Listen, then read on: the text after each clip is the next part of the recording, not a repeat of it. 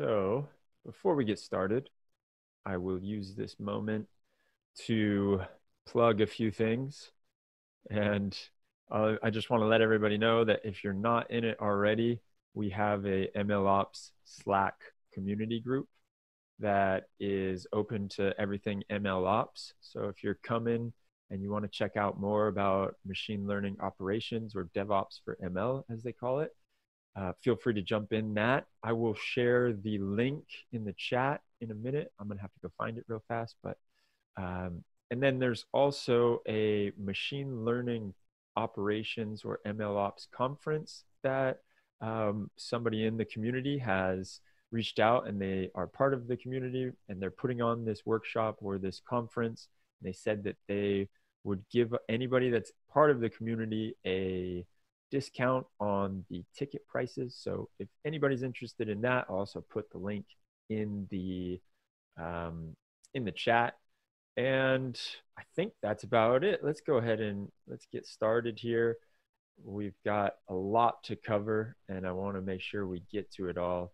So, our guest today on the show on our weekly meetup, which is this is a very unique weekly meetup. And I reached out to you, Anthony, about uh, a month ago, and I loved what you were doing. And I thought it would be very valuable to offer people some kind of workshop looking at how they can better their CVs and resumes. And you came right back at it with, yeah, I got a lot of material on that. Let's do it. Let's go for it. So for me, it's an absolute pleasure to have here. Just so everybody knows, Anthony has been doing this people sourcing gig since 2015.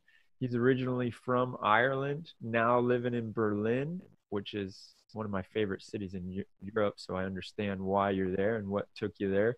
There's the company he works for is also in New York City. So he's working out of Ireland, Berlin, New York City.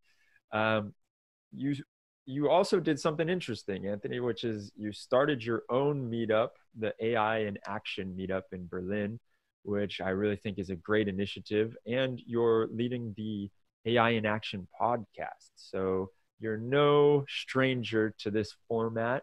Uh, I would love if everyone gives a warm welcome to our guest, Anthony Kelly. Thanks for coming on here. Thanks for being with us, Anthony. How are you doing today? I'm good to meet you. Thank you. Um, really, really nice introduction there. Uh, I, as you're right, I'm no stranger to hearing the sound of my own voice. Uh, speaking and doing the introductions at my you the cast, all called AI in Action. For those who are interested, they also cover the areas of data science. Um, data engineering, data analytics, and business intelligence. We call it, it's like the AI ecosystem. And I've been doing recruitment for five years now. Um, started off with no experience to become uh, the top biller of a company that was from the UK, uh, to become the number one recruiter in that company across UK and Ireland in less than three years' time. Uh, so I, I, achieved quite well, and I'm looking what I feel always differentiated me from other recruiters is I always help my candidates give the best interviews or prepare their CV to be better to get them those extra interviews. So what I'm actually looking to do and what I'm looking to provide is I say I say choice.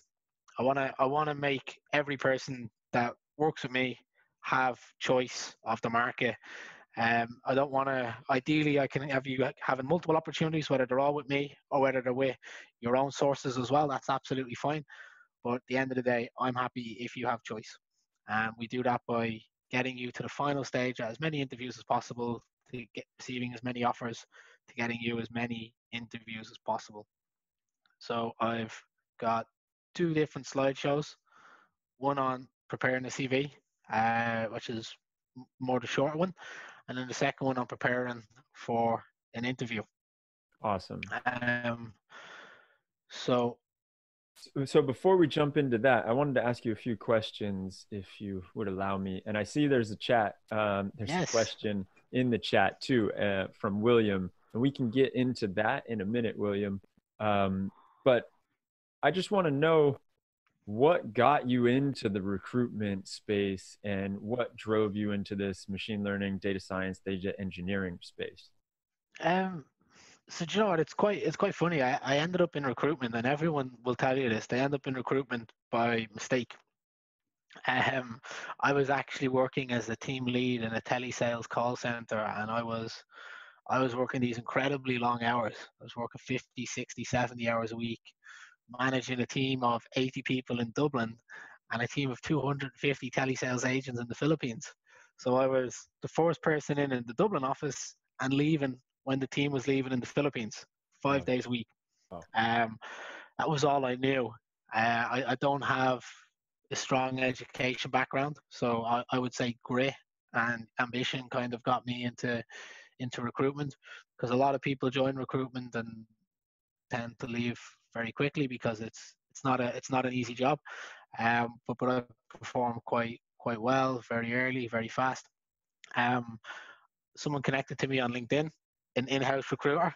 That was my first ever engagement with a recruiter, and then I, with that I joined a company called Computer Futures, um, and quickly learned the ropes and had to sort of it's kind of like a sink or swim situation when you join recruitment. Yeah. Uh, and, and that's that's how I got into it. All right. And so how does how have you seen the job market now since COVID hit? What is it looking like in your opinion? And especially when relating to machine learning jobs and data science jobs. Be yeah, real with so us. it of all markets, it it is one of the most promising, but still not as promising as it was four months ago um, being being very honest. Um, but I've seen a lot of I've seen a pivot, and internally we made a bit of a pivot. If you're sort of looking at areas that are going to stay prominent, stay healthy, health tech, fintech, areas of innovation is what we've called them. So areas of NLP, computer vision. So we've picked these areas because fintech and health tech will be least um, will be least affected by this. And then the areas of innovation will still have targets to meet for their investors. Uh, will still have product delivery goals to meet. And, and we're finding those to be around a lot of areas such as like NLP and computer vision. And a lot of it, you know, especially being um, especially being medical imaging is, is becoming quite popular now, particularly in Berlin. Um, and I know there's some really good companies as well in the US doing it too. Hmm. But there's uh there's there's a lot uh, there's a lot going on in these areas. Okay, and just to give us an idea before we jump into this, you a rough guesstimate of how many resumes and LinkedIn pages you've looked at over these five years that you've been doing this. Well, if we say I'm connected with 25,000 people on LinkedIn, um, a lot of people you connect with also don't accept you as a recruiter. Uh, so LinkedIn pages, I would say easily over 100,000. Um, resumes, I'd say I'd nearly see at least 50 resumes a day. Uh, if you try and put that out over a year, you know, you're probably talking in the tens of thousands. Wow. Yeah.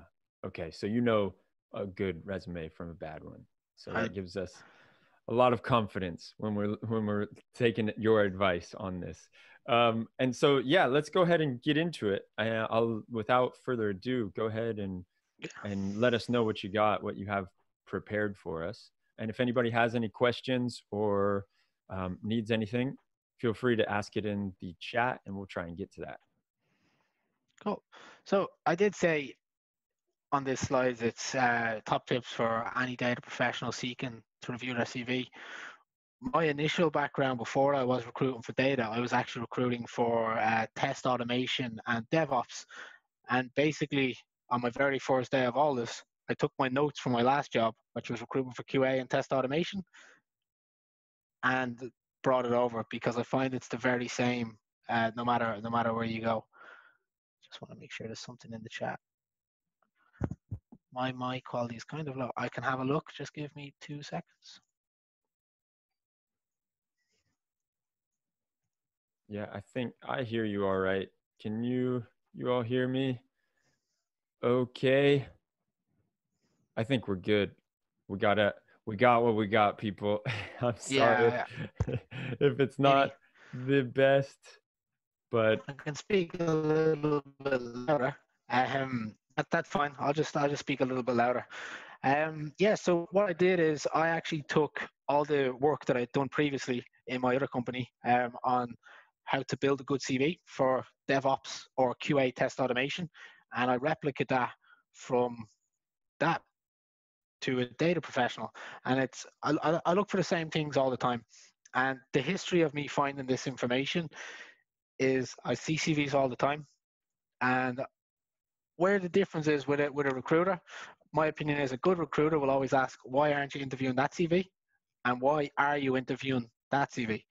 Uh, so, so that's kind of what I've what I've built this on. that's great to know. Okay. So I would always say, you know, use the use the right headings to grab a manager's attention. Um, so CV is never one size fits all. So I kind of break it down into the following sections. Uh, you can lay out like this. When people are doing their experience, this is this is to me is the most important part. Um, I see a lot of times company name, job title, time I was there, and three bullet points. That is a personal pet hate of mine. I've seen people who've worked in companies for four or five years, and it's it's three bullet points. It's it's just it just doesn't give enough depth about what you're doing in that role. Um, but I would always start with the most recent and relevant experience. So your, your job title, your company name. I would always put in as well one to two sentences about that company because there's a chance that that company who you're sending a resume to has never heard of them, or if you're relocating to another city.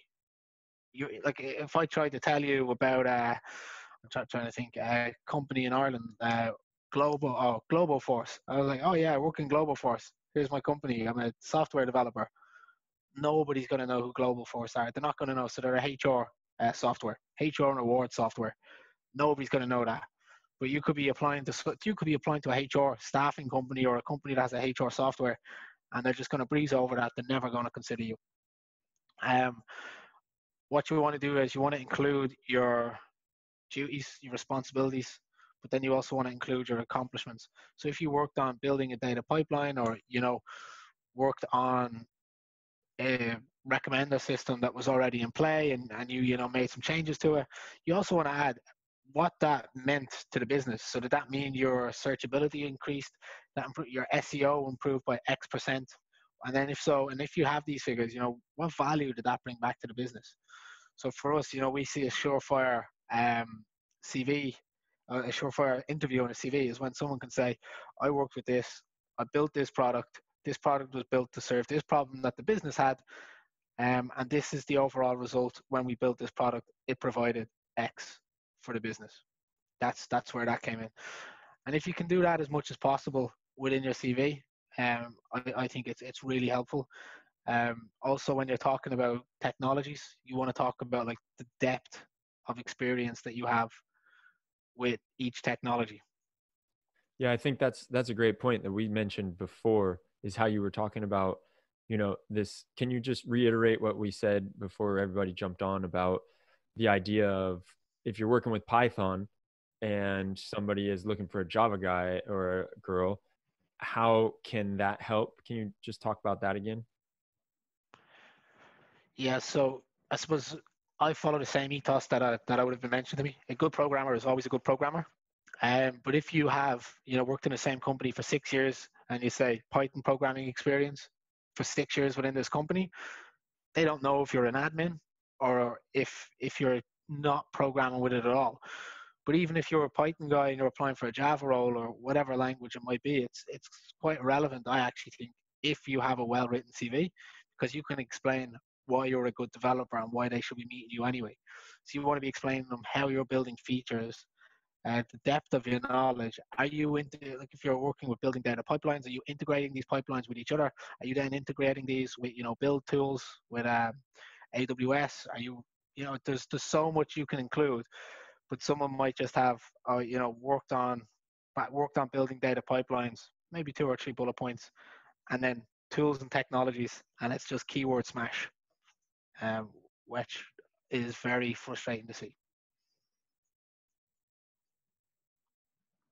Perfect. Yeah, that was that was exactly what I was thinking about. So it's stuff like this. Um, this is what I mentioned here on the adding value. So you can see this one, article sales forecasting model, 25% improvement over old production systems. Its business impact is expected to be between 50 to 100 million per year. That's an example of an A/B testing, but that's you can use that for anything. It can be for data science, it can be for machine learning, it can be for data engineering, analytics. I've seen people who can do a lot of it on analytics as well. Um, and I think that's that's going to be a big difference, and that's what stops someone from uh, from interviewing you versus just turning your CV to the next page. Education. So again, you want to go education at the top, then followed by your experience. Um, so if you're, but then again, if you're a recent graduate, your education is the highlight of your CV. Um, that's that that's what you want to that you want that's what you want to do. Um, so remember to only post your secondary degree courses um, and go into greater detail of these. Go into greater details of your topics. Go into one thing that I actually don't even see a lot on graduate and intern CVs is that they, they don't explain the challenges that they set out to solve. Um, they talk about what they build, but they don't talk about the challenges. CVs are also a way of addressing challenges. I would always say write a CV how you'd answer an interview question. Um, so I would recommend that and the same. Sorry, I'll come back to that question now in a second, just when I get to the end of this. And then you also want to go with your latest experience at the top. Go all your latest um, education at the top, going down to, you know, bachelor, just for example on the screen there. Sorry, there's a lot of uh, features that have been added to this. So when I hit next, it actually underlines the uh, the topic. yeah, and just so everybody's clear, uh, because I imagine some people are taking screenshots right now trying to get this. Can we share this with them afterwards? You can share this. I also have um, a shorter one-page PDF version that I can share with you that you can send out. That's Perfect. but it, it, this is a lot more detail. Generally, when I when I'm talking to a candidate, I would send them the PDF and I say I'm going to ring you to talk about this PDF and this is mm. what I speak to them about. Cool. Um, so this is the skills part. So this is where I was talking about, uh, you know, what you're saying. Um, don't kill your CV with skills. Uh, I like this example that I have here. A data scientist with two years of experience, but lists six programming languages on their CV raises red flags. People look for specialists, data science specialists, um, or someone who's got a specialism. You know, you don't want to go in and try and be the jack of all trades and the master of none. Write what you're really good at on the CV and highlight them and write about them well and give an example of where you've implemented these. So you've got stuff like this. This is a, a little bit a little bit different. We've got core skills. So you can you can write your core skills like this, um, or you can write them like computer skills but I would not rely on these to talk about your skills. So in some cases, I actually find CVs to be better written without these. I've got so much stuff here. you can all see this. Um, so I would like to write them as projects as opposed to skills. So you're always focused on solving a business problem so you're always focused on solving a business problem. And I've actually included a example at the end of this, uh, which I just want to show you, and it explains it. But it's it's very much the same thing. You want to talk about the end to end of of what you've solved, whereas someone just writes, you know, pro, Python programming experience worked on a recommendation system, whereas you get a. I see some great CVs where someone might turn around, they might say, I was part of X team. On this team, we were responsible for improving the recommendation system that was performing at X percent. Uh, with collaboration with like the analytics team, we felt that we could perform or increase the the return on investment or the, the value to this. So what I done is, you know, if you re-engineer data pipeline, if you introduce a new technology, what you do, how you integrate this into the business, how you deploy this, and then you're talking about all the values, all the new technologies, and how you're integrating them and, and making all these pieces talk to each other. And then you say, as a result, this solved the challenge we set out at the start. You know, maybe it was improve the SEO by 5%. In fact, we increased it by 8%. This is the value. Um, and then if you've got any publications, I would include them more so towards the end uh, because they are very, they are great to see. And if you can buy, if you can get someone to buy into your CV, they'll read the whole CV. Um, but a lot of the times, unless you're going for a very research heavy role, publications will not get them to draw the, to draw their full attention in early. And is this true even with um, blog um, posts? Again, yeah, I, I would say include a, include it more so towards the end, unless you have you're applying through a referral or through a friend where you know that a certain person is engaging to your content. Um, you kind of want to lead with that. But I suppose as a as a as a as a easier one or more direct, I think you know if you can do your your experience right and talk about that, that's that's where the real value is. And then they're going to look and read the rest of the CV. If they see someone that's you know talking about publications, they'll just go, "Oh, too research focused. We need someone that's more industry at the moment."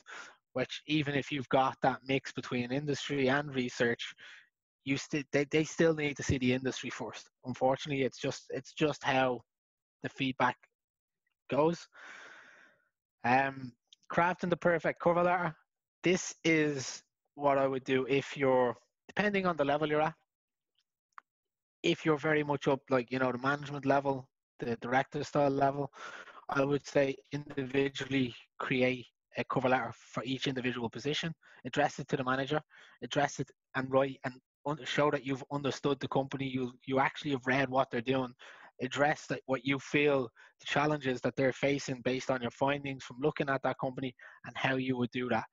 Um, that that's what I would say, and this is to go for people where you know there might only be six companies where you could actually get a job, or if you're super niche at what you do, this is this is the approach I would use.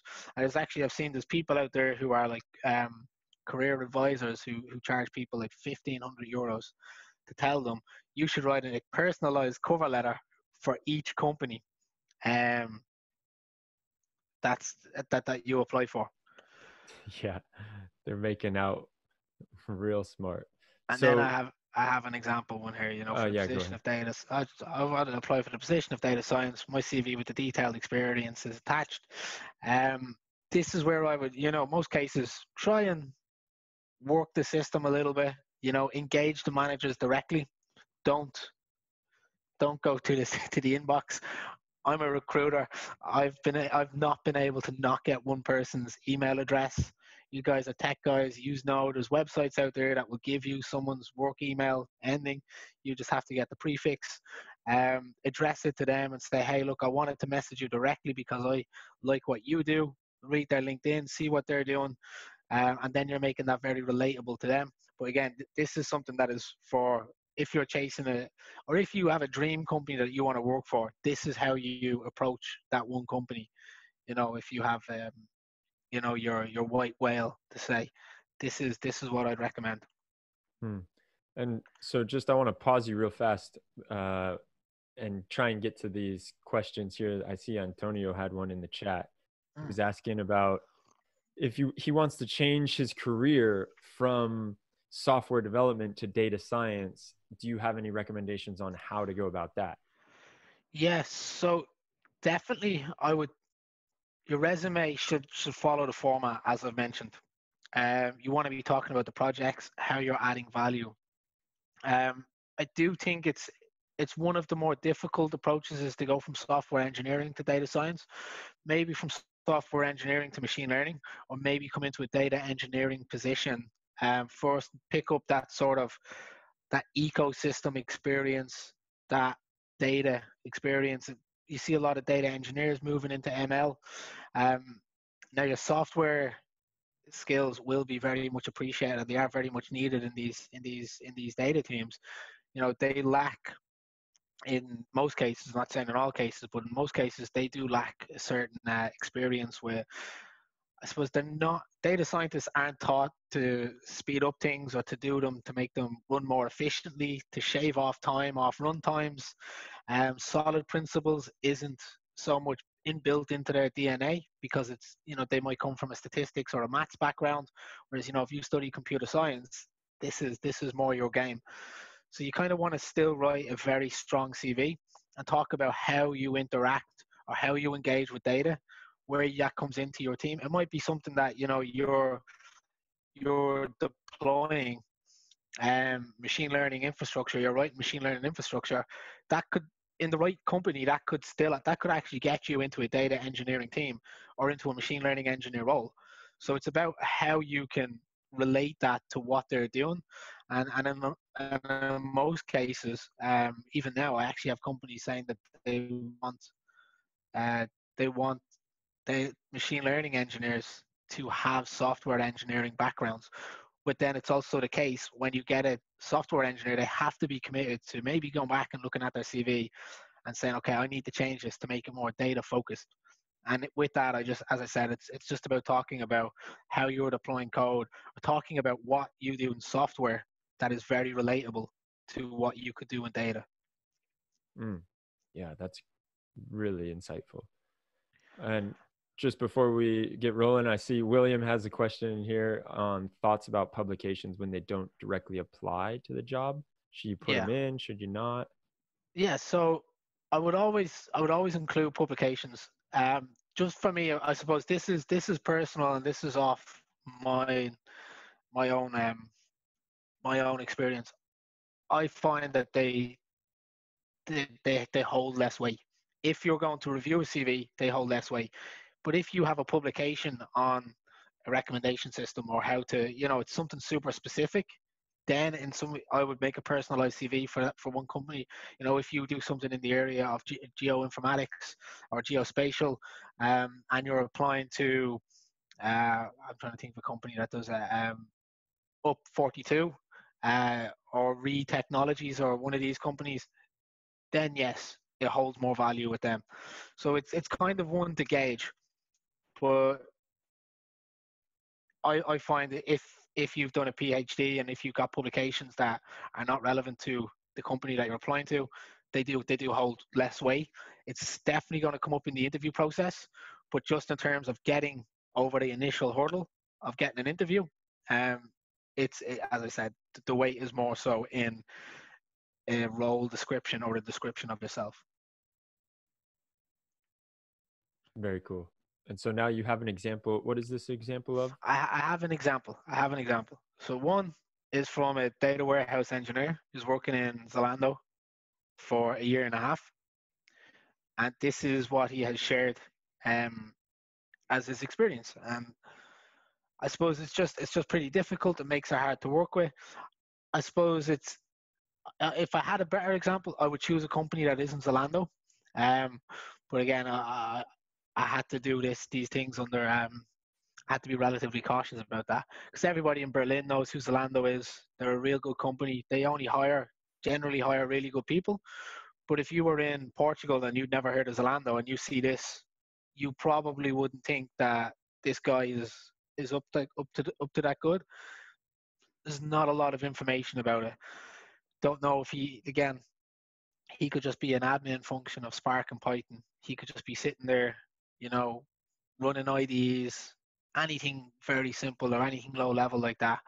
Um, and whereas the comparison is, I wanted to explain them. So uh, it's a little bit different, but it's just that it's a guy who's a who's a machine learning engineer, and I just think it was it was a fantastic explanation of how he could talk about um, what he actually built and how he built it from from nothing uh, so it's it's an end to end development of how he explains what he's what he started, what he done, and then how he implemented it. And you can see it, it will clearly distinguish what level of experience he has with a certain technology. So he's got Python and Django. So Django's his framework, but he's used Python to build the entire web application for this um, data transcription uh, platform, which I, I think is it's just absolutely fantastic. And I think you kind of want to be thinking, how can you explain your projects like that? Uh, and it's it's something that I would say I get in about ten percent of resumes. Um, but with this, you know, when someone sees this and they can they can relate to that experience and they can see how that's relevant in their business. You know, they might not be doing speech data, uh, but they can say, "Oh, you know, we're actually we're actually looking for a full stack machine learning engineer with Python, uh, who can, you know, deploy their own uh, deploy their own their, their own code and run their own models." Um, but yeah, so that so that's that. I suppose if anyone has any questions on that, I think that's that's me. That's on CVs. Yeah, that is really helpful. Thank you for that. And um, giving a shout out right now on social media for sure. If anyone wants to connect with you, also, I think that you haven't hit your limit yet on LinkedIn, or have you? No, no, I haven't. so they can reach out to you on LinkedIn too. But now you have the next part. Before we jump into this interview part, I wanted to know I had a few questions about the resumes and CVs. Does the design matter at all? Do not download your CV from LinkedIn. Uh-huh. Um, it's it's something that I see. Like it's it just looks like a like a complete lack of effort. Um, and I know they say searching for a job should be easy, but you got to think you're up against other people. What do you think the other person's resume looks like? So it's it's about beating without without sounding bad. It's about beating or being on par with another resume. You want to make sure that they don't just flick across yours and go to the next person. You want them to read yours and not have to go to the next person. Mm. So, and so I kind of I kind of go for simple. Hmm. I just I don't have any sides. I just have straight down one page, uh, size 11 font, my name, introduction, all me, personal information, education, career. Hmm. None of this side stuff with bar charts coming across. I don't I don't do that. That's me personally, but I I think you know they're not necessary. They might take a little bit longer to do. I've never done one, so I don't know if they take longer. But I think you know, just just the old school format, and don't be afraid for them to be more than two or three pages long. Great. Yeah, and and so while we're talking about that and not downloading it from LinkedIn, I wanted to show a few because these days it and correct me if I'm wrong, every time it when do you start looking at someone's LinkedIn? Do you look at resumes, resumes, resumes, and then if there's something that sparks your interest, you go to their LinkedIn? yeah. how does that work? Or yeah. is it LinkedIn's first and then resume or it depends. It depends on the source. The source might be you contact someone on LinkedIn. But if you want to be getting contacted by you know, your dream company or you want to be contacted by a strong company who have a good talent acquisition team, you want them to contact you. Or maybe not, but you want them to at least be looking at you at some stage and a good LinkedIn is for that. And we see someone good on LinkedIn, we've now candidates out there who we haven't spoken with in my team, and we're like, you know, I'd love to speak with that person. I bet they're great. Um, and, and that that's just it. It sets a perception. Um, so yeah, but if we have someone who comes to an advert, we will speak to them. But most likely, I'll be speaking with them. I will have a look at their resume and their LinkedIn beforehand, and I'll be looking on LinkedIn to see if they're speaking at meetups or mm. at events or whatever it will be. But that's just because that's a personal thing that I look for mm. um, as well. And are you looking at their? So I imagine you're looking at their profile on LinkedIn. You're also looking at what they're posting and yes. what they're featured in, all of that, and and the same rules apply, I would imagine, for the resume and how you describe your work experience as how you put it on LinkedIn. Yes. Yeah. Yeah. Great. Great. Yeah, they, it, they can be the exact same. That's fine. Uh huh. Yeah, yeah, cool, good, good. Uh, so yeah. Now what's what's next? What do you got in that box of tricks for us? Right, here we go. This one is just a little bit longer. And so now it's more once you get through the gates, you've been able to land an interview, how to go about that and how to make yourself shine in this interview process, right? Yes. That we're coming. Perfect. So just if we're all kind of data guys here, um, so I suppose to give you a little history for me, my first one year and a half in recruitment, I averaged about I had to get 30 people interviews to get one deal. Uh, and that means a deal is get someone a job at the end of the day. And I was I was average. And then I really changed my game and I said, okay, look, I wanna I wanna maximize everyone's opportunity. I want to start getting these people at interview job offers. And then I went quickly from 30 interviews to between four and five. Um, and that was with these notes, and it completely changed the way I looked at it. Um, and we always used to have this this phrase: "It's not the it's not the best candidate who gets the job; it's the best prepared candidate." Um, and I myself, you know, I I I, I actually really believe that. Um, and it's feedback that I get far too often is the candidate didn't do the research on us. Uh, they didn't know anything about us. And I know you're still expecting modern day. Uh, you want com- companies will make the sell to you. But as I said, I'm in the game of giving people choice. You will get further in interview processes the more you know about the company. It's it they want to see you want to see if they like you, but at the end of the day, they also want to see if you like them. And if you can't go in and you can't tell them anything about that company, they're not going to feel that you like them. They're not going to feel that you're interested. You're not bought in. Check out their website. Check out any articles they're finding. You want to write things. You, you want to check out their LinkedIn page. For example, look, there's an event. Oh, hey, look, you, you're at this meetup. I was actually at that meetup too. What did you think? Check the news tab on Google. Very simple. Companies, you can check out the rounds of investment. Um, it's always better to tell companies this, oh, I see you've actually you've got investment six months ago. That must be exciting. You don't want them to tell you. Well, you do want them to tell you. But if you can do it, you look good as well. Check the interviewers on LinkedIn. I I, I had a can I have people say to me, oh, well, I don't want them to know. I've checked them on LinkedIn. I'm like, why? You want them to know.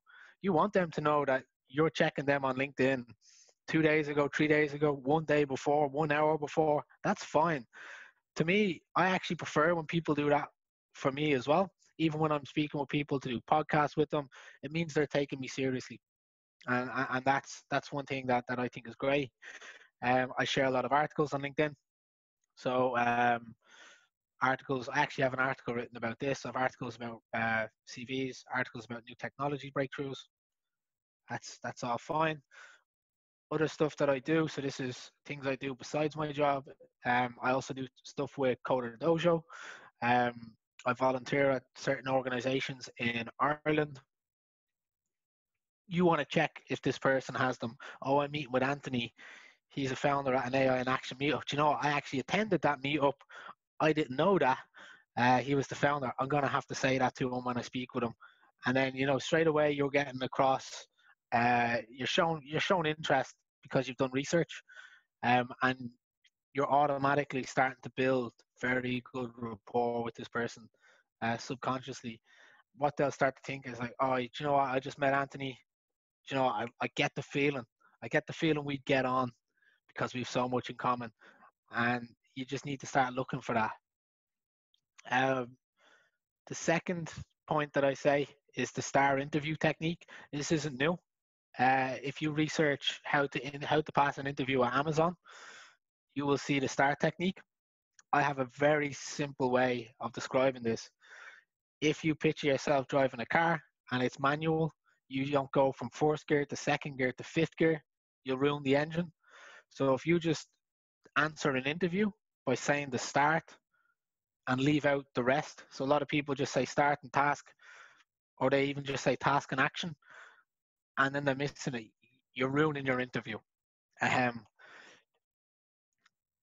Oh, I actually thought I had more on that. So yes. So what I say, uh, so what I say is give an example for everything that you worked on. Um, so one thing that I would, always, if they, if someone asks you a question, hey, oh, have you worked on machine learning? I'll be like, yeah, I have, yeah, I've done loads of machine learning. Um, I would always link it back to a specific example or a specific challenge that you worked on. Oh yeah, um, what's your experience like machine learning? Do you know, I've actually been working as a machine learning engineer for the last five or six years, whatever it may be. I'm working with these particular technologies on a daily basis. But uh, I had a very interesting project recently where I had to work as a full stack machine learning engineer on a particular challenge. Let's say I always go back as you can guess, recommendation system seems to be something I spend a lot of time talking about because I say it all the time. Um, oh, I worked on this recommendation engine. Um, and then you want to talk about, as I said, the example that I gave previously. You know, I say, oh, I worked on a recommendation engine. Um, we use Python, which, you know, a lot of people can can give. So you want to talk about the team. Oh, you know, I was part of a data engineering, data science uh, cross collaboration team. There was analysts in the team. You want to talk about what your input was in the team, what the each individual's person was, and where you are all coming in to meet in the middle to add to add this value.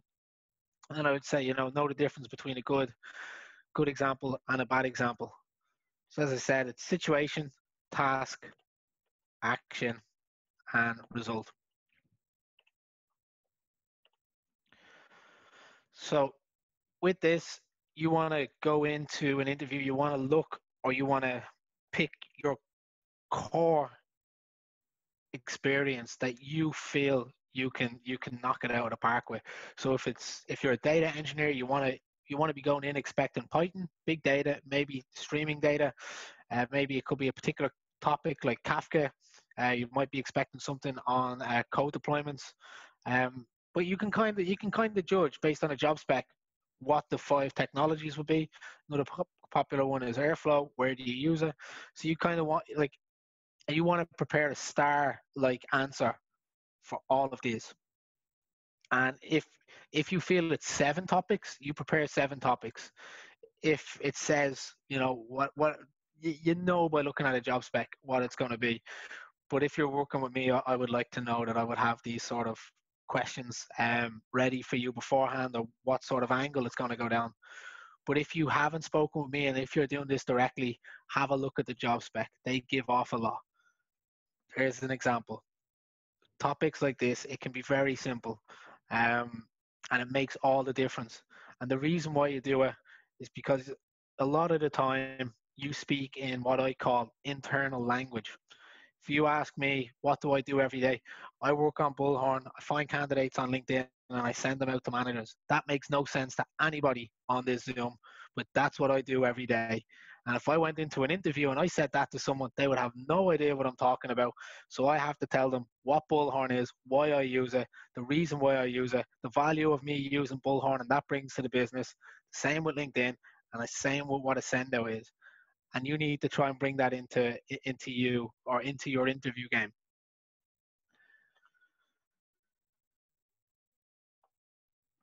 talk about you so uh, they, they do and they don't they don't care about what the team does but you need to talk about your individual contribution um, an example that i would always give for this a hiring manager might get very excited if they see, oh man, this guy just came over from the States. He was a machine learning engineer at Netflix. He's going to be great.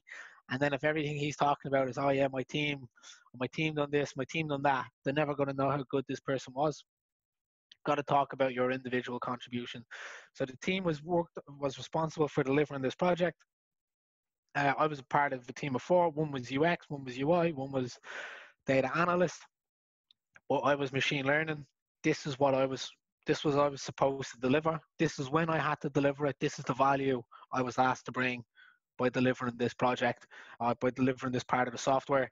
And then when I delivered this, I was expecting each other person to have delivered this. And when we did, we were able to we were able to um, release it or whatever it would be. I know very hard one to say because each each story is going to be in particular to to someone um, or that or a particular project.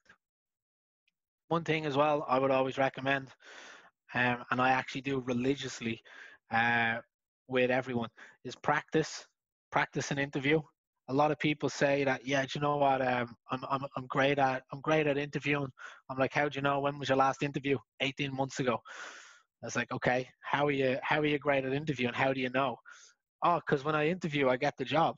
I was like, but I guarantee you, you don't get every, you don't get a job offer after the end of every process. What it is is, you know, you go, you interview with 10, 20 companies, you get two job offers, and you say you're a great interviewer. That's 10%. 10% is realistically a fail. Um, Liverpool, my football team, are the best football team in the world right now. They practice five days a week to play one game on the weekend.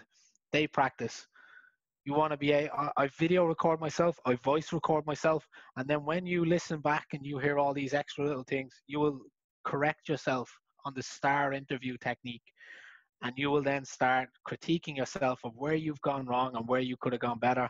And actually do you know what? If i wasn't me i wouldn't understand what that answer means. And that's where i mean practice. And take it into example you know roger federer tennis or anything.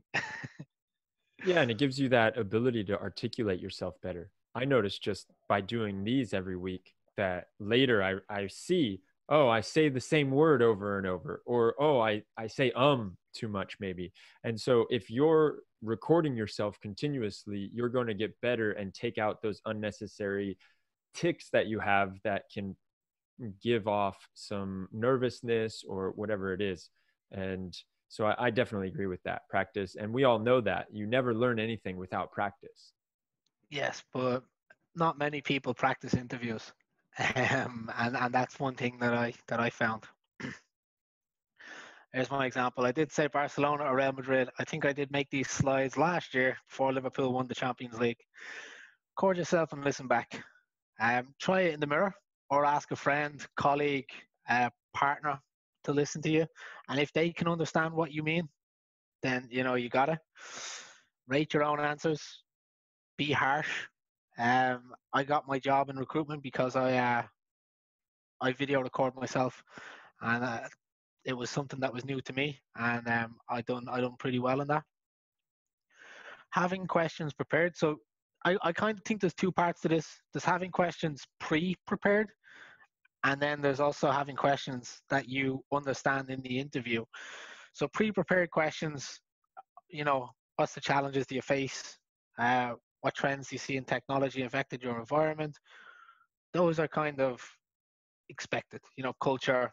Um, how do you how do you rate someone as a good employee?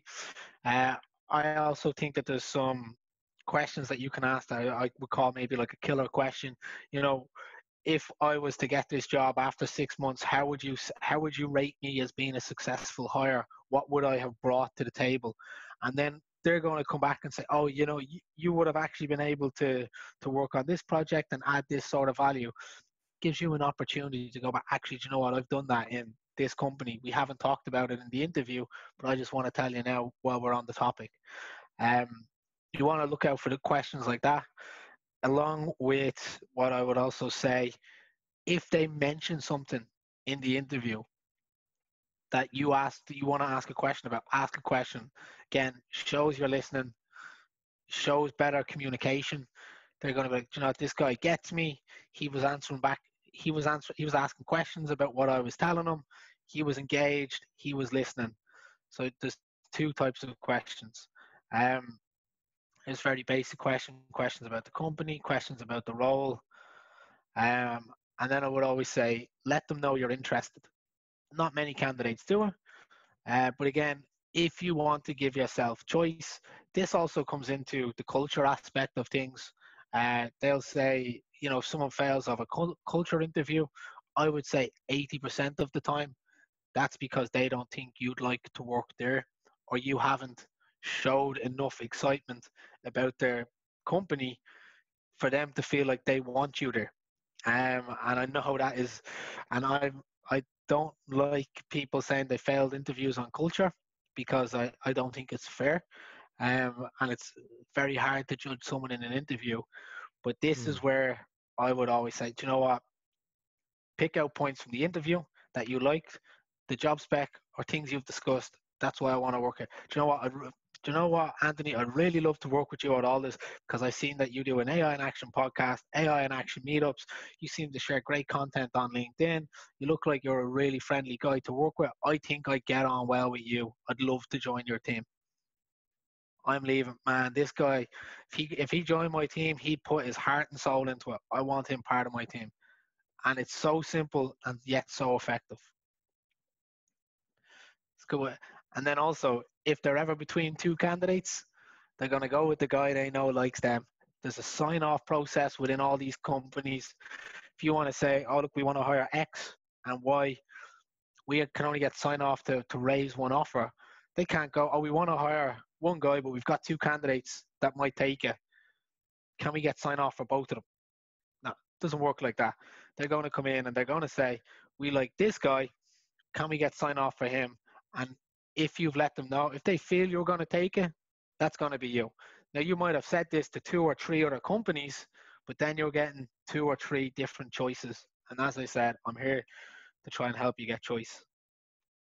Um, I think this might be the last part I have on this, but it's challenges or mistakes you've made. This to me is uh, it's kind of like a fluffy communication style question. Um, you don't want to be the person that's never had a mistake that in their whole lives. Um, you want to be able to tell them how you had a mistake and how you won't have that mistake again. Um, so there's a there's a story I heard about a truck driver, and it was a truck driver who was driving like the HGV delivery trucks, and he was there for like six years. One day he came in and he crashed the truck into another truck in the yard, and the next day came into his boss and he handed him the keys. This is actually a true story of someone I know in Ireland. Uh, he handed his boss the keys. He said, "Look, I'm sorry about yesterday. Um, I've cost you a lot of money. Here's my keys. I'm going to resign." And the boss said, "No. Do you think I'm going to let you have that experience of having that crash, knowing you're never going to crash again because you're going to be extra careful? I'm going to let you give that experience to someone else after me paying for your accident." So it's a way it, uh, an example that someone told me was they tried to implement test driven development before after watching an online webinar and then their next code that they tried to do in test driven development failed. But then his boss actually turned around to him after and said i see you trying to do test driven development here you know that didn't work. But we actually have a guy who specializes in that in the team. Why don't you link up with him on the next project and then try and run it in test driven development? And then we can see where you go from that. And then like it, it's just it's just great. It shows that you failed. It shows that you sh- you showed you wanted to improve, and you showed the capability and that you wanted the effort that you've actually made to improve. Or it could be something that you approached your boss about this particular thing or technology that you wanted to improve on. And yeah, real fast. I know that uh, you interviewed Alexey, right? I think that's how I may have even found you, who's a predominant data scientist on um, LinkedIn, and he shares a lot of great tips about getting jobs for data scientists. And he has a GitHub um, repo that I'm going to put in the chat, and it's just a bunch of data science interview questions. Yeah, so, 160. Yeah, 160 different questions that, uh, and people, he kind of crowdsourced the whole thing. So people have put their best answers to these questions. So hopefully that can be a great resource for everybody too. But that was my last slide um, on the how to prepare for an interview. Awesome. Awesome stuff. So if anybody has any questions, you can throw it in the chat or uh, just go ahead and unmute yourself and ask away. Feel free. I'll, I'll let I'll be quiet for two seconds in case anybody wants to say anything. Okay, so I do have a question. Let me let me get this here. No, first off, I want to say the the idea of you telling the company that you really like them that blew my mind. So thank you for that. That one is. Uh, you would you would be surprised. Um, as I say to everyone, it doesn't matter if you're telling if you're interviewing with ten companies, you're telling ten companies you like them, mm-hmm. because mm-hmm. well, of course, if you want to get or if you want to maximize your chance of getting 10 offers um yeah particularly with hr yeah Yeah, yeah. And so, how do you feel about the LinkedIn stalking? I know you said you want people to do their homework before the interview. How do you feel about reaching out, connecting with these people before you do the interview? Does that is that also something you would recommend? Yeah, um, something as well that I also recommend is dropping them a message after an email, um, or a LinkedIn message. I think, hey, you know what? And you kind of want to do it within 12 hours before they've made a decision. So you kind of want to share with them your feedback on the interview. Oh, you know what? I really like this particular aspect. Again, you're telling them you're interested, what you liked. You know, this was actually a really interesting opportunity. I like the way you guys are working with X technologies on serving Y customers or users. I think I would I would really enjoy working on these challenges. You know, and it's it just creates open dialogue between you and this person. And again, it's, it's oh, this guy just gets me. We're on the same level. He he wants to work on and solve challenges we're already solving. He's going to enjoy working here. Wow, yeah, that is perfect. So, unless there's any other questions from the crew that we have here with us today, I'm going to plug what you're doing, Anthony. If anyone is looking for a job in Berlin, or Ireland for that matter, or NYC. You guys are also there. Reach out to Anthony or anybody at Alldus. I would imagine they can help you out. And also check out your podcast too. There's great resources being shared there. You have the meetup that you're doing. I imagine you're not meeting up in person anytime soon. No, virtuals. Virtual meetup that is is another great resource to have. But it's been a pleasure talking with you. Really, thank you so much for coming here and sharing this uh, with all of us. I know I've been able to learn a ton from it, and I'm not even in the data science field. So I would imagine that everyone else has got it. I know William asked in the chat beforehand about how to hire people. So if you're a hiring manager, how do you go about that? We can try oh, to have. He's gone. Yeah, he just. He, I think he just dropped off. He probably had another another meeting, but that's something that I think we talked about earlier, and we want to try and have round two of this and talk about how to hire for data science managers. Or yeah, yeah. that's that's something that I do do as well. Um, I suppose as, uh, if you're a data scientist, you're probably sick of being being handed an eight-hour test, and if you're active in the market, you might have six of them. It's no fun. Yeah, yeah, completely.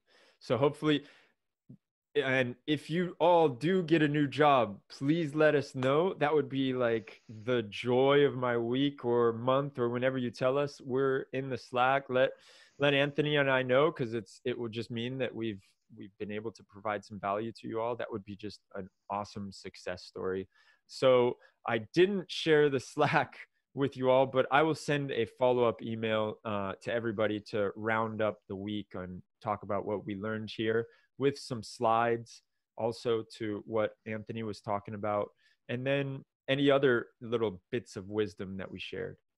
Uh, yeah. So, yeah, that's about it. Anthony, thank you so much. I really appreciate you coming. Hey, thanks for having me. If anyone has any questions, connect with me on LinkedIn. Uh, my email is anthony at alldus.com.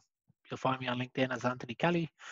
Um, but have a great week, everyone, and stay safe and healthy. There we go. There it is. All right. See you all.